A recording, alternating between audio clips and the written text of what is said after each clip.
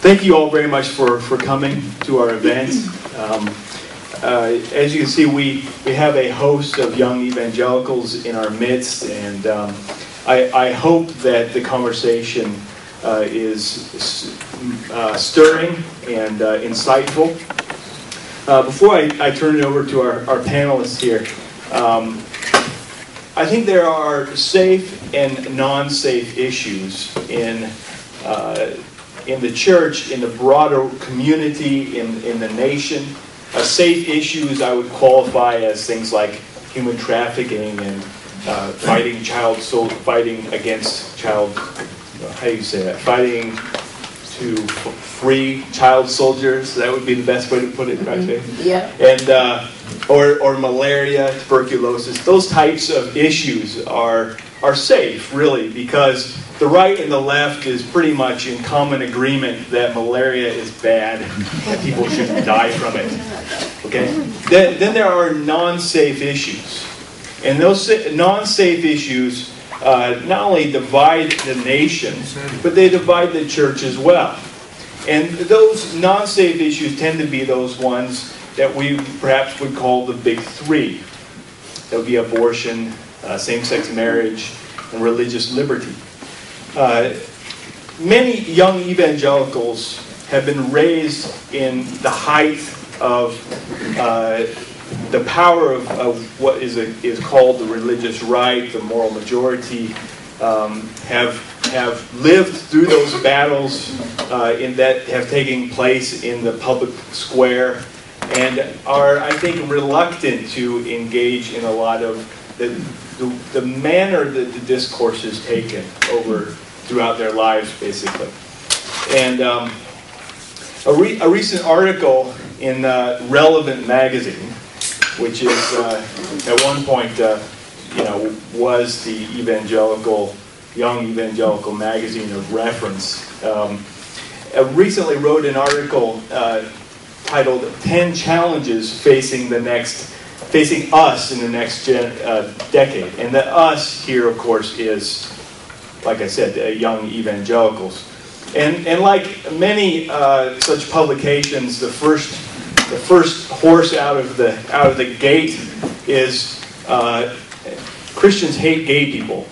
I mean, that, that's where you start, I guess, which is unfortunate because it's not true. And uh, the challenge is, of course, then where do you go from there? Um, but of course, the, the real discourse in, in that article was we need to broaden this definition, understanding of what we get into. We need to address immigration, climate change, and uh, probably the most appalling was, um, was pro life 2.0, which was basically everything but pro life. really, that's how it goes. Uh, so we have gathered here a, a panel of young evangelicals. Uh, Andrew Walker from Heritage, uh, Eric Teetsel from uh, the Manhattan Declaration, Jessica Prol from uh, Family Research Council, and the IRD's own uh, Kristin Rudolph, to uh, kind of debate, or dis- not debate, but more discuss how young evangelicals move forward in the midst of perhaps a post-culture war America, if that's even possible. Okay? So I will hand the, the mic on, and uh, they each have roughly 10 minutes, and then at the end of that, we will have some time for question and answer, and uh, hopefully uh, you'll have some good questions. And uh, I'll see you in a few minutes. Well, good afternoon. It's good to be with you. As Luke said, my name is Andrew Walker, and I'm a policy analyst at the Heritage Foundation in their DeVos Center for Religion and Civil Society. And I want to focus my remarks on kind of describing kind of what the situation is and, I, and a perspective on how to move forward. But I want to begin with sharing a tweet from a prominent Christian that I think summarizes our situation. This person said, I'm a Christian and I support marriage equality because part of loving your neighbor is desiring equal justice under the law. This statement was tweeted by Rachel Held Evans on Tuesday morning as the Supreme Court heard Proposition 8. She is, as most of us know, a leading spokeswoman for more um, young, liberally minded evangelicals.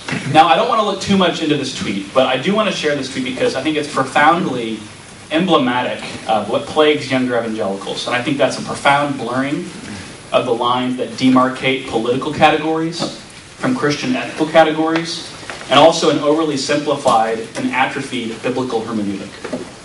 And were I to suggest whether this trend will get better or worse based on what I see out of young evangelicals, it's probably not going to get any better. So, using that foil for my remarks, um, I want to talk about how we, um, in order to explain our unique placement as Christians in America, need to communicate to younger evangelicals what I'm calling an ecclesial ethical paradigm. And I'll explain that more towards the end. So, we have a, a young evangelical ethos driven by ethical and political confusion, multiplied by the fact that we lack an understanding of the church's communal and counter-polis nature, and polis meaning city and state. And I think there's a pivotal distinction here that I want to explain. In most Anabaptist thought, which I'm not an Anabaptist, the church represents an anti-polis posture, meaning that the church is entirely opposed to culture. A counter-polis approach to political engagement, however, means that the church offers, by her own example, an alternative to whatever polis she finds herself in. The church is not against the culture, but offers a better culture, we are, as um, Os Guinness has said, we are against the world, but also for the world in our unique kingdom witness. And for the moment, I think this is how the church should understand herself, especially in light of cultural Christianity's decline in America. But for a moment, let me return to the above mentioned tweet and discuss what this further symbolizes. Liberal evangelicals have long ago foreclosed on what I would call a sola scriptura ethic, one of the great ideas coming out of the Reformation, and they instead have adopted a sola cultura ethic, meaning that they place uh, it's, an, it's a, a hermeneutic that places the cultural winds before biblical fidelity. This ethic finds resounding acceptance in liberal wings of American Christianity. But notice this hermeneutic not only accommodates, but actually justifies the claims of a broader, secular, and liberalized political order. Where a prevailing attitude takes shape, somewhere and somehow, we find people willing to Christianize whatever issue is at stake. So we think, uh, you know, more recently of progressive evangelical Tony Jones. He wrote a blog post exploring how premarital sex ought to be considered a Christian virtue. So this is this just shows the progression in how we handle our, our, our ethics. So in Miss Held Evans's tweet that I shared earlier, what we see there is, is American liberty as sacrament. But we also see it being used to undermine Christian ethical authority and sanction patently unbiblical relationships. Seen here, human sexuality as designed by God is cast asunder and exchanged instead for Enlightenment ideals of equality built on social contract theory. But notice what happens. By elevating equality under the law as she does, she actually contributes to the naked public square by insisting that Christian interpretations of the public square should be subjected as a matter of first priority to the claims of liberal democracy. And there is simply very little that is Christian about that.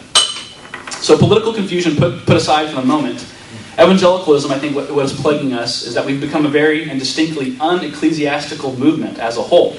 One less defined and governed by our local churches and denominations, and governed more by an amorphous culture that claims no existing center. Lacking a center, evangelicalism has failed to grasp the nature of the church, which in Greek is ekklesia, which means we're the called out ones, the called out assembly.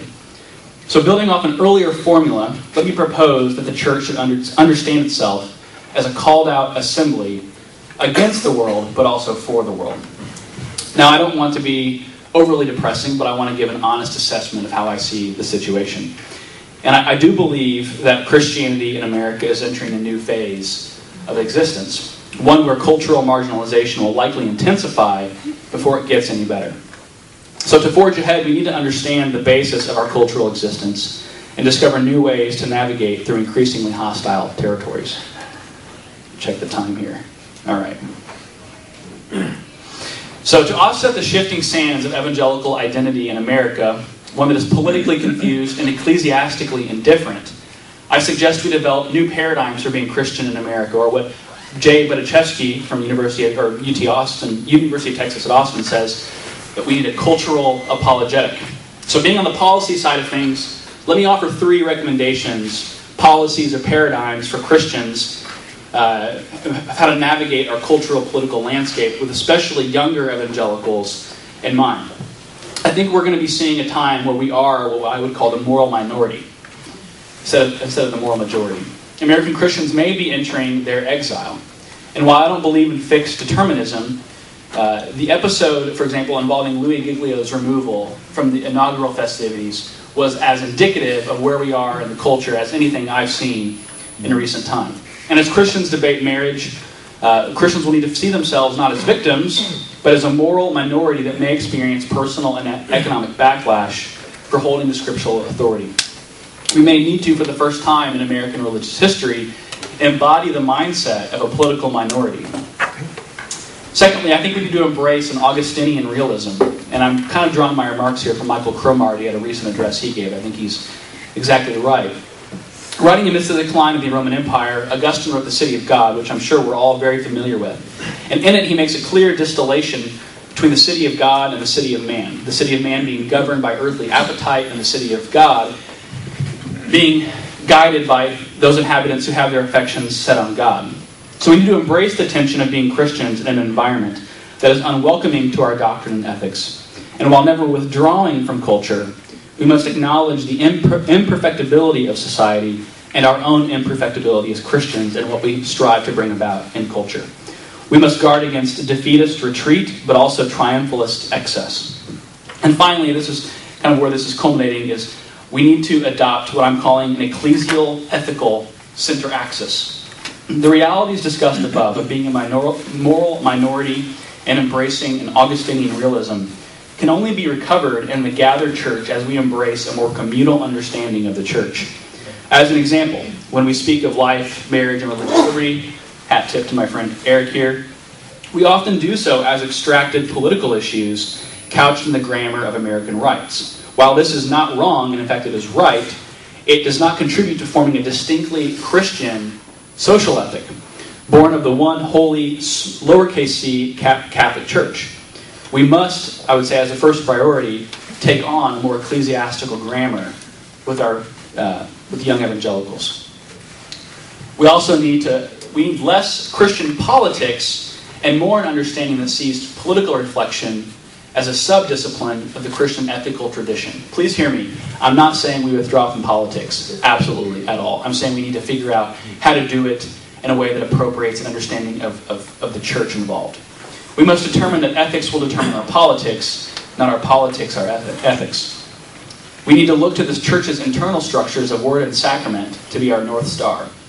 I think we also need to embrace the surrealism and the oddities of the Christian faith and to take on this unique identity. We must acknowledge that the American church is not a product of the American experience. Instead, the American church, as where any church is located, is God's distribution of grace where the forces of barbarism and secularism seek to devour. We are not, Ameri- we are not Americans having a Christian experience, I would argue. Instead, we are Christians having an, Ameri- uh, having an American experience.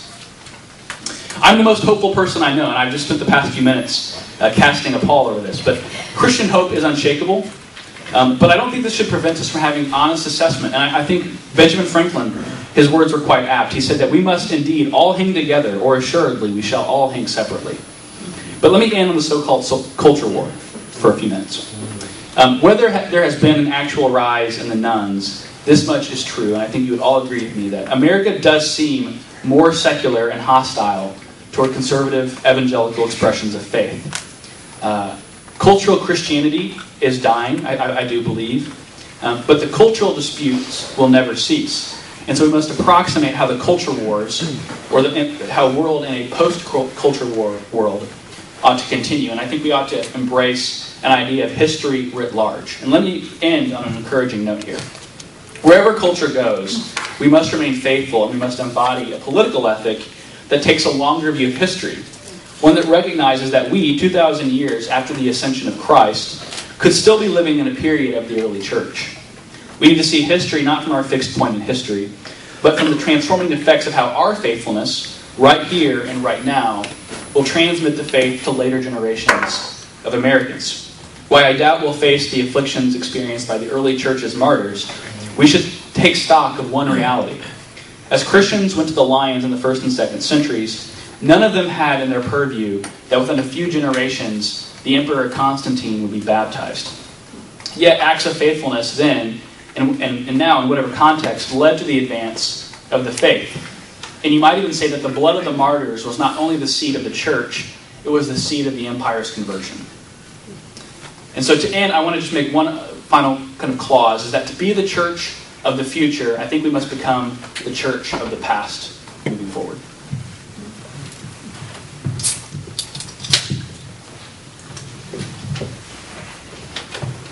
Thanks, Andrew. Way to get the uh, uniform right today. Uh, I graduated from Wheaton College in 2006 and immediately began a master's program at Azusa Pacific University in LA. Then I took a job at Colorado Christian University for a couple of years before moving to the American Enterprise Institute and most recently the Manhattan Declaration.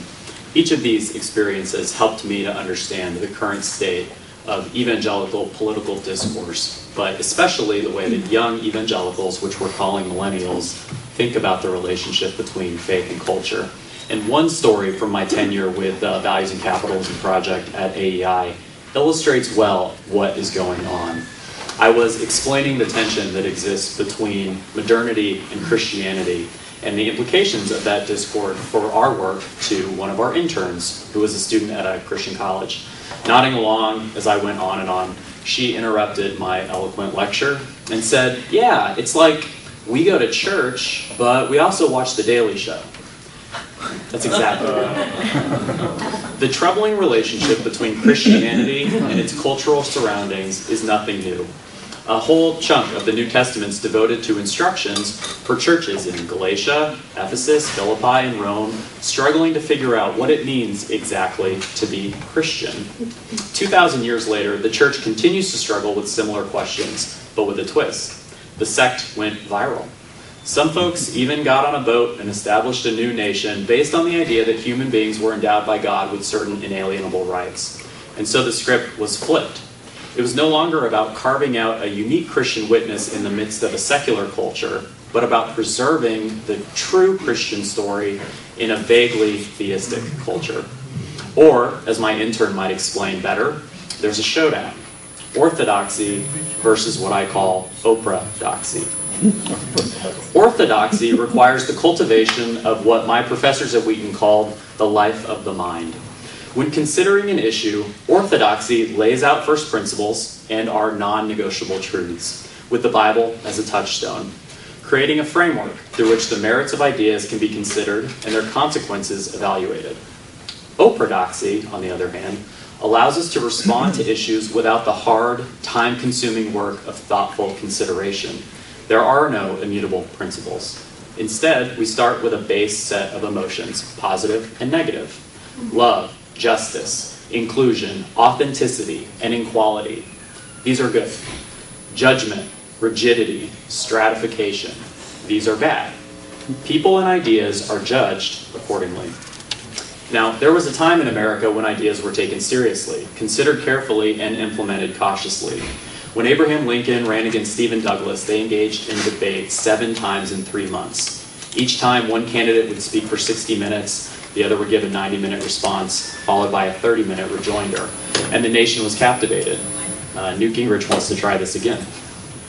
Uh, more recently, William F. Buckley's firing line gave the stalwart grandfather of the modern conservative movement an opportunity to engage in lengthy dialogue and debate with leading intellectuals in a variety of fields ranging from politics to literature. In 1988, the show was reduced from 60 minutes to 30, and in 2000, Buckley stepped down for good. Intellectual curiosity still exists in pockets in the United States, but more common is a pseudo intellectual curiosity of the sort evidenced by Sunday morning talk shows and Starbucks. One need not explore the history and heritage of furniture, for example, to benefit from the appearance of taste. That's what Pottery Barn is for. More common still is intellectual abandonment. Americans, especially the millennials and the unnamed generation behind them, are feeling their way through life, not thinking. Their emotion is informed by a culture which promotes and preaches, baby, you were born that way, and is subsidized by a civil society built on shifting sand, as Andrew said. Resulting in an ever expanding nanny state that refuses to allow its chicks to experience negative consequences. This is Oprah doxy. One need look no further than modern evangelicalism to see the unbridled embrace of orthodoxy. There are exceptions, of course, but these can best be understood as safe harbors for the few who somehow escaped what Aldous Huxley called the hypnatic process, which is manifest in our day in public education, on television, and in church. Millennial evangelicals, those who want to go to church and watch The Daily Show, want desperately to interface seamlessly in American culture. The social justice causes promoted by the evangelical left provide an opportunity to increase one's cultural cachet while ostensibly serving the Lord. It used to be that one could simply care for someone or something. That's not true anymore. Today, young evangelicals have a passion for coffee plantation workers in Peru, for example. But when one's passion is driven by social cues and peer influence, mm-hmm. isn't it just a fad? Mm-hmm. TOMS shoes are big among young evangelicals who see an opportunity to help the poor while satiating their desire to consume. When passion is manifest by cute shoes sold at Urban Outfitters, isn't it just a fad? Indeed, among evangelical millennials, passion looks and sounds a lot like fashion. And this is life according to Oprahdoxy, not the precepts of Scripture. Today, a majority of young evangelicals still vote for Republican candidates and hold conservative positions on major policy questions like abortion, marriage, and the rule of government. In 2008, just 32% of evangelical millennials voted for Barack Obama, compared to the 66% he received at the overall youth vote. Evangelical young people continue to rank abortion as a top issue of concern, even as the overall number of issues they care about expands. In the secrecy of the voting booth, young evangelicals are free, even if just for a minute, to mm-hmm. think. Mm-hmm. And right now, they remember that snuffing out the lives of the unborn is evil. They may not join the marches or write the op eds, but they vote their values. As I see it, the goal of the evangelical left is to erase young evangelical intuitions about moral prioritization. Mm-hmm. The political left is inextricably married to the murder of unborn children.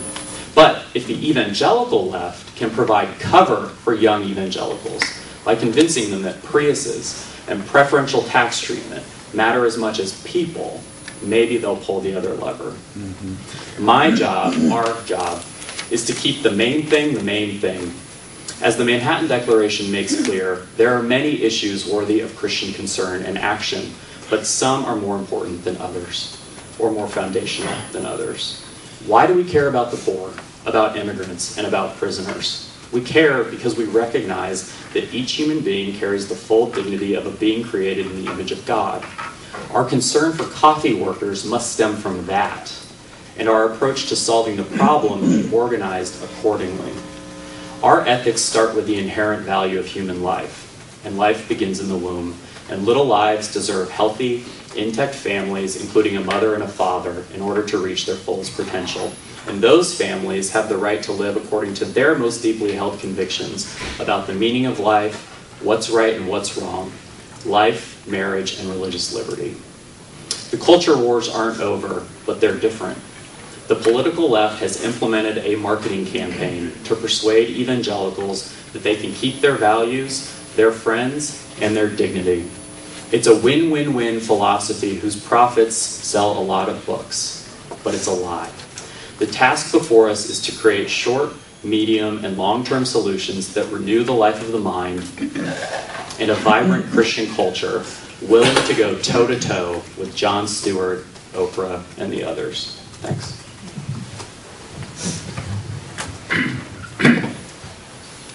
Thanks so much to IRD for inviting me here today. My name is Jessica Prol, and I'm with the Family Research Council, managing editor for policy publications. And I'm going to echo already a couple things that are said.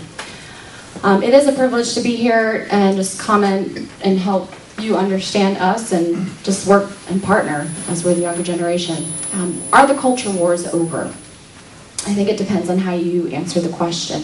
We are, as you know, rather young, uh, a child of the early 80s. Ronald Reagan's the first president we ever knew.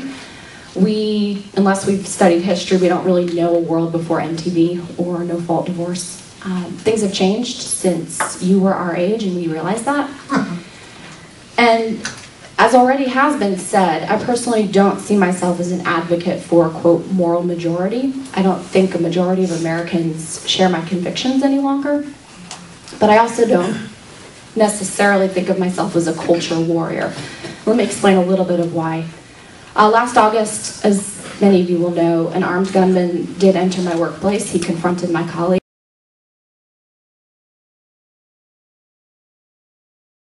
But I don't think we always understand where the battle lines are drawn. And we misdraw those lines at the peril of our organizations, our causes, and ourselves. I think we do ourselves a great disservice if we look at those disagreements in primarily political terms. I'm not suggesting that any of our organi- organizations should step away from truth uh, about human sexuality or the dignity of life, but we sometimes give the impression that we're more interested in winning arguments and elections rather than seeking the good of the city the good of people.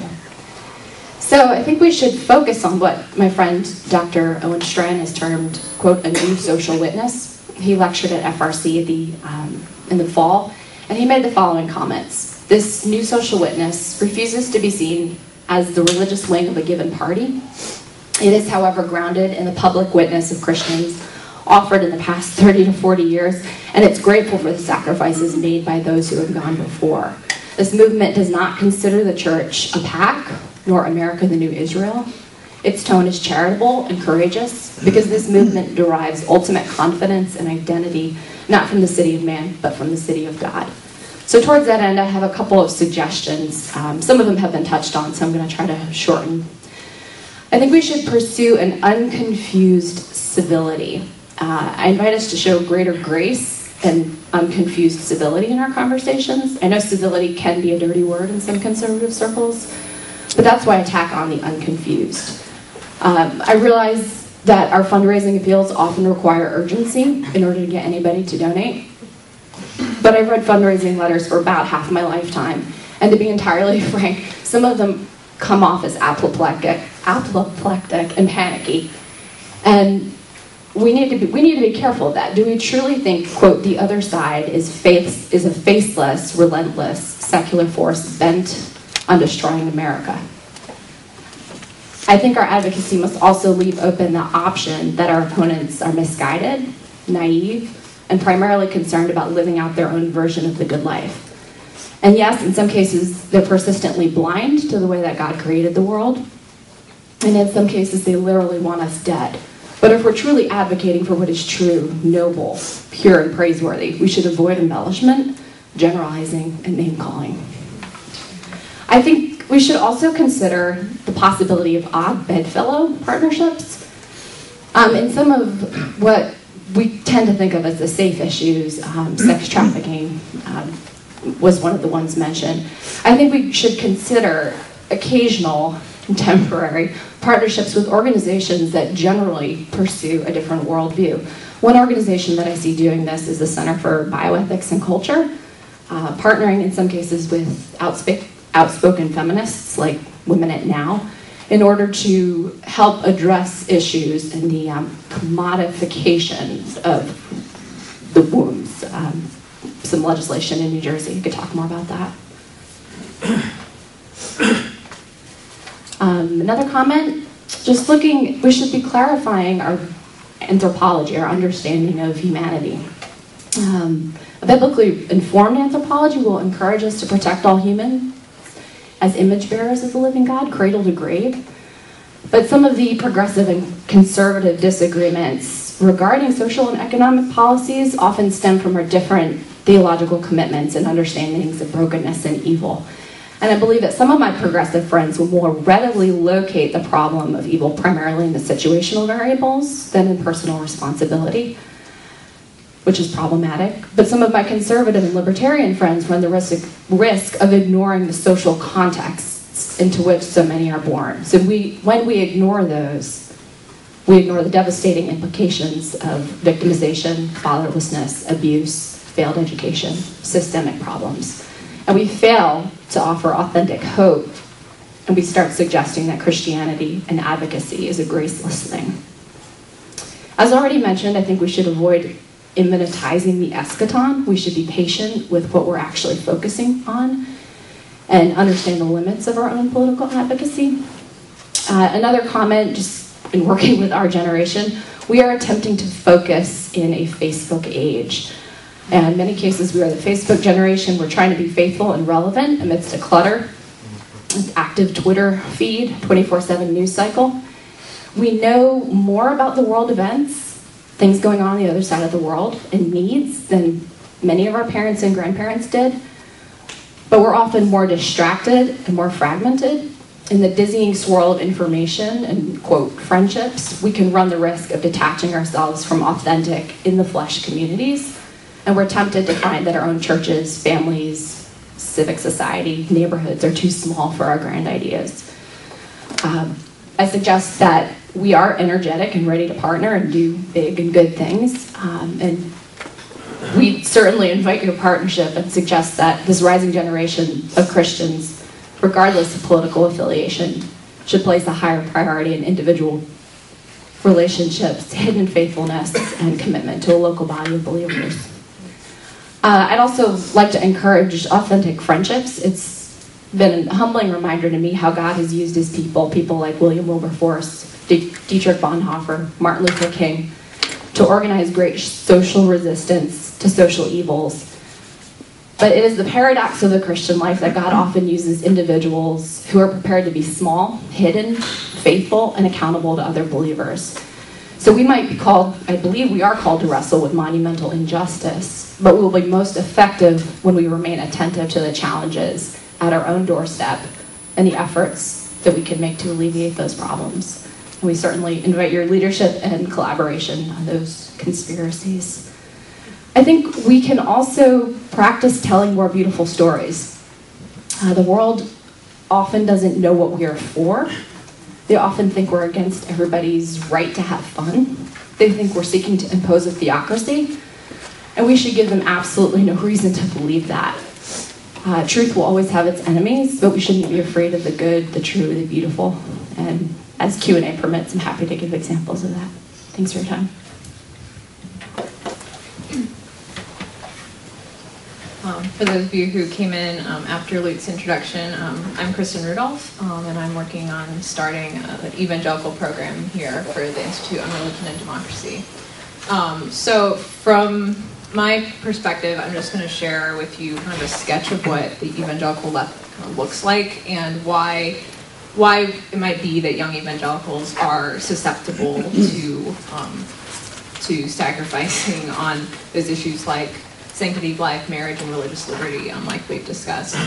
Um, so most often it's presented not as a um, stop, you know, abandon your pro-life convictions, abandon traditional Christian teachings, and come over here and advocate for climate control and um, you know pacifism and um, these sorts of things. It's not presented in that way. It's wrapped in the language of developing a consistent ethic of life.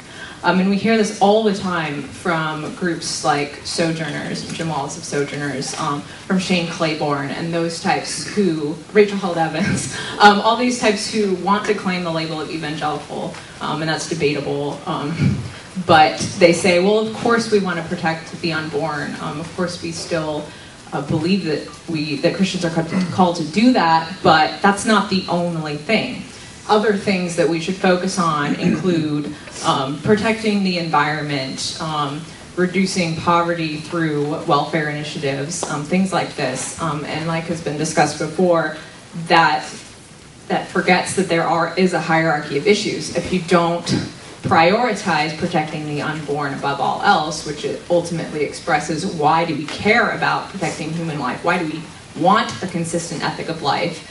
If that should be the first thing, the unborn are the most vulnerable, um, it, it, it, obscures that and confuses that. Um, and the most um, recent example I've seen of that was um, at the Justice Conference in Philadelphia this February. Um, I went up there um, in Philadelphia just, uh, just about a month ago. Um, and huge conference, about 5,000 people in attendance, many more satellite locations where the conference was um, shown all over the country. Um, and most of the people who attended there were probably between the ages of, you know, this demographic we're talking about, between the ages of 18 and 30. Most would probably identify themselves as evangelicals. Uh, walking through the exhibitor um, room, there was not a single major national pro life organization there. There was one pregnancy care clinic um, in the local area that was there, but there was not a single pro life um, organization. Um, it- this is, we're talking about 200 exhibitors. Um, further, as far as the speakers at the conference, there was one mention of abortion, but that was um, in, Ch- in China, not one mention of abortion domestically. Um, and this is a two-day conference, um, many speakers there. And more than that, they featured Sheryl WuDunn, who um, is an activist working on um, um, solving for the oppression of women worldwide. She spoke on that issue, and she talked about the imbalanced gender ratio in China and India, and did not mention, not a single time did she mention sex selective abortion, which is absolutely the major cause of the imbalanced gender ratio. But she didn't mention it once. She's now she's not a Christian, so that's her perspective. However, the fact that she was there featured as a major speaker was very problematic, and there was no point where that could be countered. There was no question and answer. So, you know, I don't know what the understanding these people attending the conference have of that issue, but they left without an accurate portrayal. And this is a Christian conference. This is a conference that presents itself as the, our generation pursuing justice in the name of Christ. Um, so that was very disturbing um, to me, but it kind of it illustrates what we're dealing with. It's a very insidious sort of movement to try and pull away um, young evangelicals from the roots, um, more the traditional teachings, and to um, to fall into cultural acquiescence. And um, so it's happening in very subtle ways. Um, so I also, like I mentioned, why why would why would anybody why would any young evangelical be susceptible to this? Don't we all know what the church teaches, what the Bible teaches on life?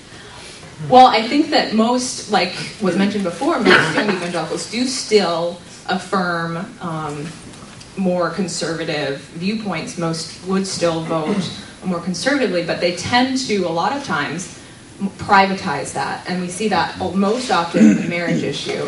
They want to be able to say, yeah, well, sure, I believe that homosexual practice is a sin, but I wouldn't want to impose that on the rest of society who doesn't share my um, opinions and beliefs.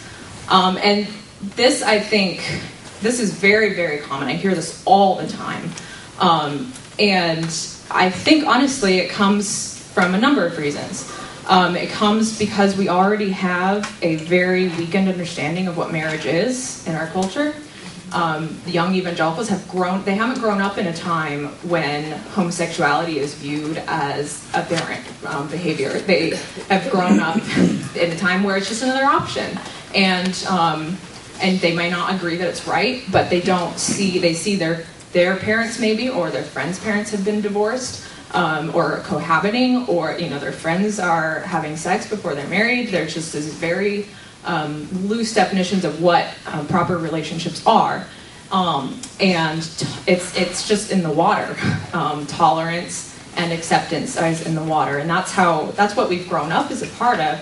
And contrary to popular opinion and belief, the church doesn't always teach very clearly what a biblical um, position on view of marriage is.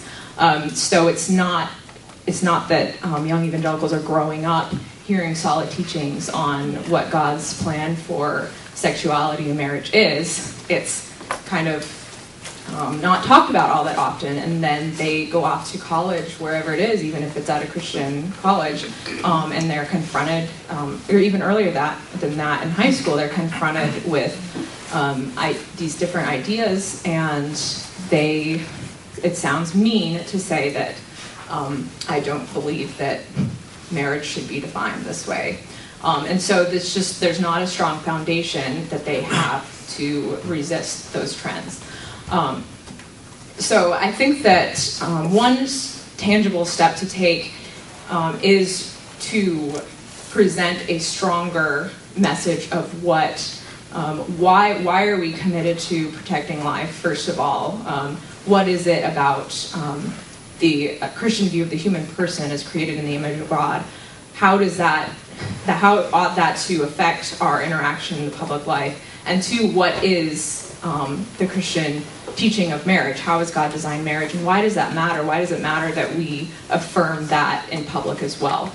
Um, and like has been mentioned before, that arguments about that aren't necessarily going to be persuasive in the rest of society. We, our generation, um, between depending on what polls you look at, between 60 and 80 percent of the broader um, population of young mill- of millennials um, affirm same-sex marriage, um, and that that's just how it is. And you know, we don't know where trends are going to go in the future. Nobody knows for sure what will happen, but that's the situation. Um, and so to stand up against that is a very um, challenging thing. You need a lot of courage to do that. Um, and so while arguments aren't going to necessarily change the culture, we need to make sure that um, young evangelicals have the argument so that they can give a solid answer and know why that they believe the convictions that they do. Um, so what do we what do we do about this? Um, how do we kind of counter this insidious evangelical left? Um, and I think honestly that we need to capture the imagination, um, use stories, and and say that no, it's not true that um, the, that in the past we haven't had a consistent ethic of life. We have had a consistent ethic of life. This largely is the media's portrayal of the so-called religious right um, and the culture wars as being as caring only about you know the unborn until they're born and then we don't care about them anymore. That's absolutely not true. Um, and we know that, but I don't think that your average um, young evangelical hear, who hears these stories all the time, I don't think that they know that necessarily. Um, and so I think we really need to be, um, you know, writing stories, telling stories